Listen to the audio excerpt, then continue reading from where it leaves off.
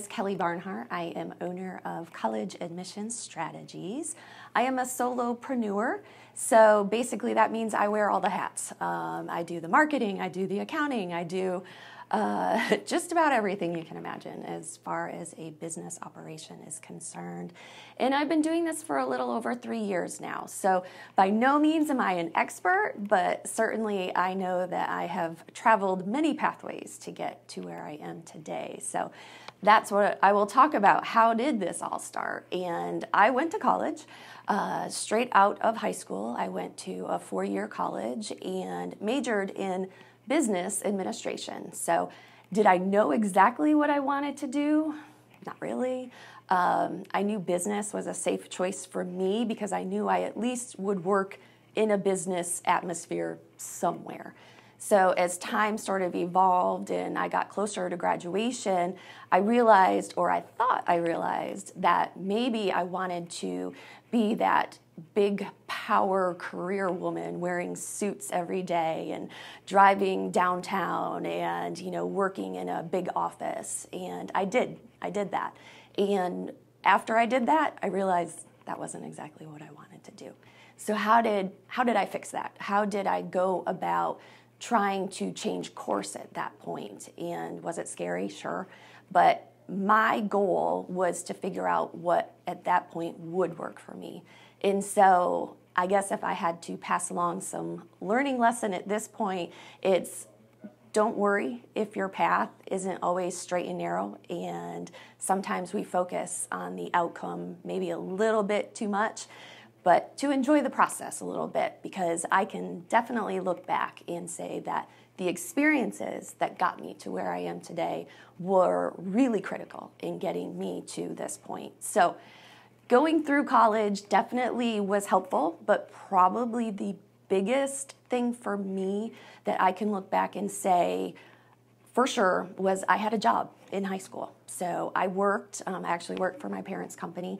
And one of the things that helped me the best looking back is learning about communications. So, learning how to talk and speak with others, understand others, knowing that what I'm saying maybe isn't necessarily coming across the best way so how how do i fix that so learning how to hone in on my communication skills and really again understanding how others are hearing me was super important. So i fixate, fixated on that probably a little too much.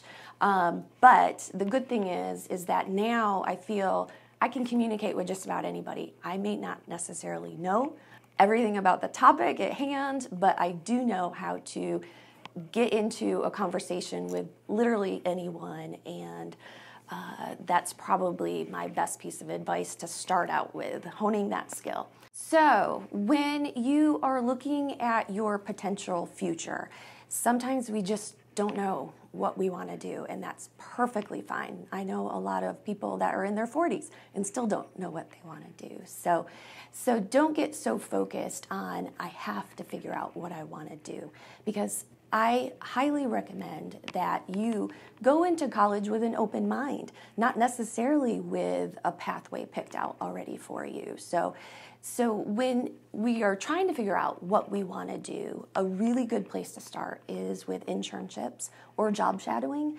And whether it is an internship or job shadowing, again, you're learning functions of a business that may help you, may not help you directly, but indirectly, that connection with that business or the people within that business absolutely can help you further down the road.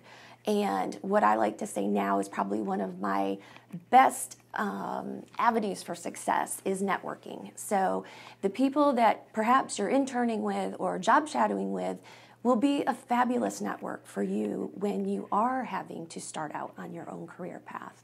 And it goes back to the saying of it's not necessarily what you know, but maybe who you know. So always kind of remember that little tidbit. And then you know as as you get to your senior year there's a lot of pressure. There's a lot of pressure to figure it all out. And it may be from friends it may be from family it may be from neighbors but the bottom line is stay focused on what you want.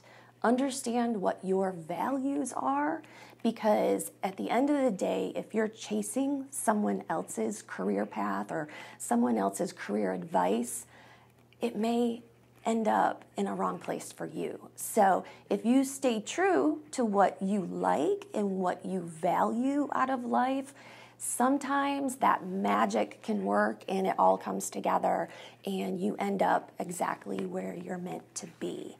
So as far as me, would I do anything different? Um, looking back, of course, of course. I think you interview anybody and they will say, I would do 10 things different or 100 things different, or maybe it's just one thing different. But, but the bottom line is that is part of life and going through the process and you're going to get on the pathway and there's going to be roadblocks and hurdles and detours maybe u-turns but wherever it's leading you just know that it's absolutely leading you in the right place but stay true to your vision your dreams your goals and again you'll end up exactly where you're meant to be